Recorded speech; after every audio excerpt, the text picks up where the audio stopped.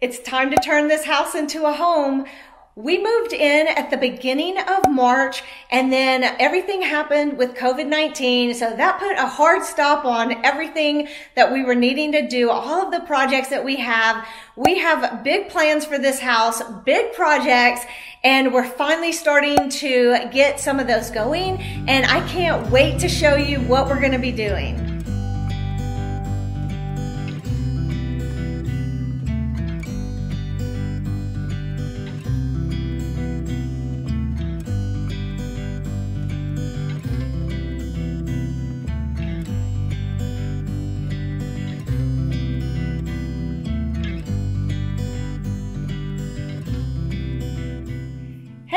It's Kristi. Welcome back to my channel.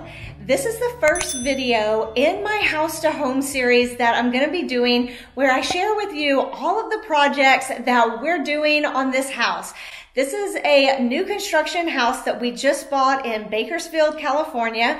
Whitney picked the house out all by himself. Of course, we did use technology and I was pretty brave in all the houses we've had. I've never let him buy one without me seeing it first, but that's what we did on this house.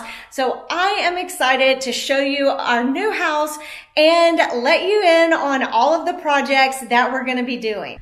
Since I'm doing this as a mini house tour, I decided to start with the outside. So I'm just going to show you what it looks like. I do need to do some things on the front porch. And then we tried to do something in these planters in the front, but that was an epic fail. These little rose bushes died. And then we were going to put something else on the bottom. But since unfortunately our little rose bushes didn't live any longer than about a day, we're going to have to do something with that. And then I am going to be doing some things with the porch. Right now, that's not actually my first priority, but I will be doing some things like get a new mat because this is way too small. And then this area is very narrow, so I'm trying to figure out what to do in this area. I'm open for suggestions and ideas. If y'all have any, let me know. When you walk in the front door, you can see straight through the back. So you see the windows in the back have no window treatments and I'll talk to you more about that later. So that walks into the great room, the living room area. But in this hallway, you have two rooms. So I'm going to step back so you can see on this side, you have the one room, which is intended to be the office, but we've changed what we're doing. And then if I walk around like this, you can see over here we have the dining room. And the, the reason I wanted to show you these two rooms and how they are configured is because you see both of them when you walk in from the front door. So as we're decorating these, we are trying to make sure that we're being cohesive and having it flow from the two rooms. Not that we need to have everything be the same or totally matchy matchy, but we want it to look intentional and like it was planned and we thought out both of these rooms together. When we bought the house, we knew that we wanted this front room to the right of the front door to be a media room. It's a very small room, but we knew that it had the potential to actually make a nice, cozy little media room. We so enjoyed the media room that we had in our last house. Of course, it was much bigger than this, but we loved it and we knew that it would be nice to have a place to put all of our media equipment in here. And we just thought this would be a way we would really enjoy using this room. And that would be one thing I would say to you is even though a room doesn't make sense necessarily for everybody else, make it what you want and how it's going to be comfortable for you to use so that you can enjoy your own house. Even though we're using this as a media room, we want to make sure that it's pretty because it is at the front of the house. Well, as pretty as it can be for a media room. This is the TV that we just had installed. Finally, we were able to get all of our TVs installed and we used Best Buy to do that. I will be making a totally separate video about all of that. So you can see the process and I'll give you some tips and tricks along the way. In order to make the most of the little bit of space in this room, we decided that we needed to remove the doors. So we took the doors off of the hinges before they came to install the TVs. So that way we would maximize all of the space in the room. Because we want this to be a media room, we do want doors. So what we're going to do instead is we are going to put doors on the outside in the entryway and those are going to be barn doors and we're going to redo the casing so it's not the type of casing that has the hinges on it and that type of thing like it is now. It's just going to be a flat casing so it'll be pretty and look like it belongs rather than like we just took the doors off. We're getting new window treatments for all of the windows in the house. What you see here in the media room and then also behind me in the media room are just temporary drapes that we ended up buying from Amazon, some inexpensive drapes with a tension rod because it was starting to get hot. And then also we were really wanting some privacy, especially in these front rooms. And then in a couple of the rooms in the back, we ended up doing the same thing. And in our bedroom, we have paper shades that we put up right when we moved in. So we've always had that. I'm really excited about the window treatments that we're going to be getting. We're getting new window treatments throughout the house. So in these two rooms, we are going to be getting shutters and drapes. And so I'll show you the fabric that we're doing because it's going to be a dual treatment there with both of those things. And I'm going to be making a video all about this. So I'm just giving you an overview right now, but I'm going to show you the samples. I feel like the window treatments are going to make a huge impact in these two rooms, but we also do need to still decorate these rooms. For the artwork in the dining room, I'm going to be using the large Audubon bird picture that you see in the middle. Now, the frame and the matting are dated, so I have decided that I'm probably going to paint the frame black but we're going to be putting this other bird picture that has all the pink in it in the media room. And so my thought is with that, the matting actually works really well with that and it'll help pull these two rooms together. So I'm probably going to leave the matting like it is, paint the frame black. That way it'll go with all of our other black frames that we have throughout the house. The detail on this frame works really well with the detail on this frame. Can you see both of these together? It works so nicely together. So I'm just going to paint this black. And then if it turns out that I think I need to change the matting, I can do that later. But I think it's actually going to work nicely to pull that little bit of color into this room. Then I'm going to be shuffling the artwork around a little bit and moving the large picture over to this wall because it'll fill that up nicely and then putting this one over the buffet. And I think that's going to work nicely. And then the small picture, I'm thinking will look nice just over this little light fixture right here. We're back in the media room and I just wanted to show you this painting is going to go on this wall over here. We're going to have the floor to ceiling drapes that go behind the shutters. And then we will put the painting on this side. And when I worked with the designer for all of the drapes, I also made sure she knew about the painting. So we're making sure that we're going to have plenty of room to be able to hang it. That wall is wider than the wall on this side. And I think this is going to be the perfect complement to the other picture once that frame is painted black and it'll be hanging over here in the dining room over the buffet. We also need to buy some side tables.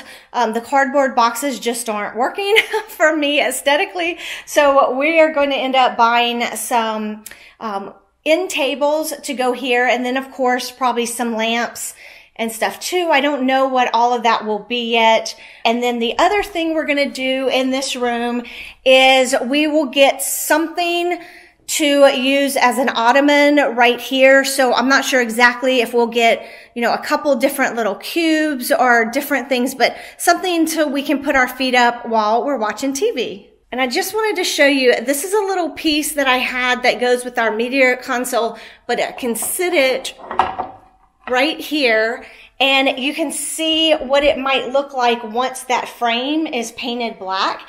And I actually think it's going to look really nice. I think what dates it is the combination of the gold and the burgundy. So I'm excited to see how it turns out. In the great room, we are going to be doing some window treatments, but we're not putting anything in the windows themselves because we really don't need privacy in this room because we don't have anything too much behind us, as you can see. So privacy isn't an issue, but I do think it looks bare without having anything over those windows. We're going to be doing a special window treatment here and I'm not going to tell you too much about it. I want to surprise you with that one, but I will show you a sneak peek of the fabric that we're going to be doing. And then over here in this corner, we definitely need to do something. So what we're going to be doing here is buying another media cabinet that's just like this one. It's from Restoration Hardware and they do make it in a smaller size.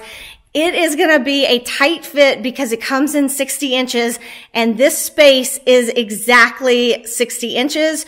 But this one was a little bit shy of the 80 inches that they said. So we're hoping it'll be the same and it'll fit.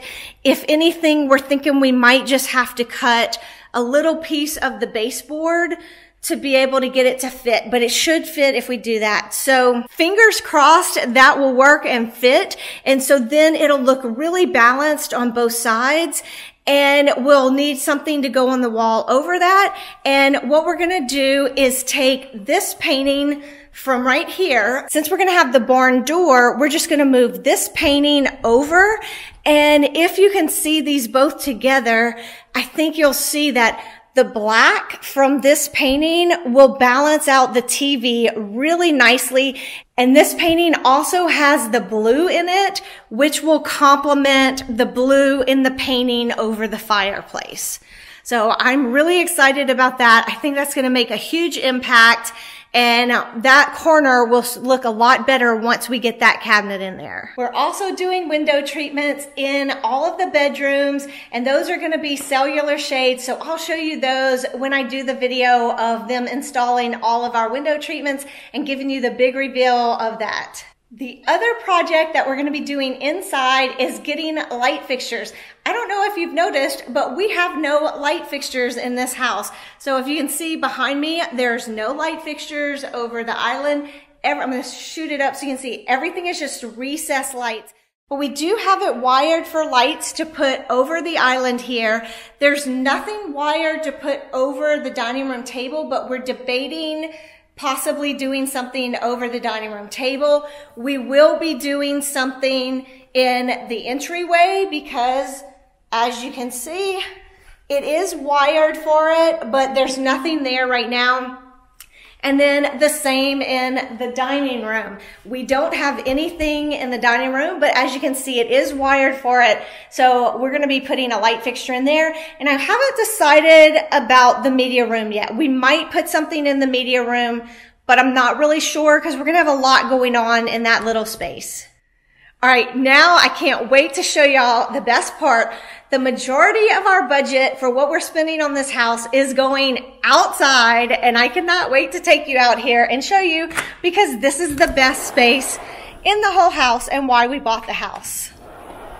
All right, guys, I am outside on the patio. So as you can see, I just came out of these doors right here. That's the sliding door. And it goes all the way back to where the master bedroom is. So where you see the bench at the end, that is where the master bedroom is. And I am going to be buying new furniture for all of this. We may end up reusing our patio furniture that we have here over by the bedroom, but I'm not sure. The bench was my dad's and that's like a forever piece that I will always keep, but I am planning to refinish that and then we'll probably keep it over by the bedroom area. So let me tell you about this. So here's the fireplace. I'm going to move over here so you can see the fireplace. We had our TV installed and then we did have some speakers installed out here. So we're all ready to go for that. So here I'm going to do something as a living room seating area right here when you walk out the door, and that's what you'll see from inside the house. And then the space where I'm standing right now is over these windows right here. So that section, I'll come out here so you can actually see it better.